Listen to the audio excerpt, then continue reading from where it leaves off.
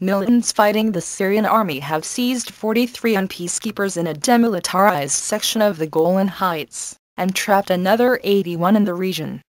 The world body is working to secure their release, the United Nations said. And the UN High Commissioner for Refugees said that the Syrian crisis has become the biggest humanitarian emergency of our era, with 3 million Syrians now forced outside the country. The affected peacekeepers are from the Philippines and Fiji, unspokesman Stéphane Dujarric told reporters. The 43 peacekeepers from Fiji were forced to surrender their weapons and taken hostage near the Quneitra crossing, but 81 Filipino blue helmets held their ground and refused to disarm, the Filipino Defense Department said. This resulted in a standoff which is still the prevailing situation at this time, as UN officials try to peacefully resolve the situation, said the statement from Manila. Fiji Army Chief Brigadier General Mosese Tikoitoga said the captured peacekeepers were all safe, and asked people in the Pacific nation to pray that they are released unharmed.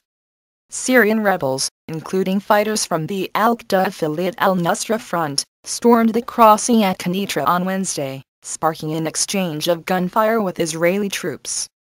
Quneitra is the only crossing between the Syrian and the Israeli-controlled side of the strategic plateau.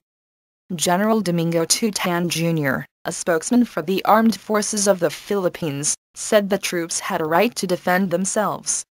Our soldiers are prepared, trained and capable of dealing with these situations, and will take risks to fulfill our commitment to international security and peace the peacekeeping contingent has the right to defend its position and the units in line with the UN protocols and rules of engagement.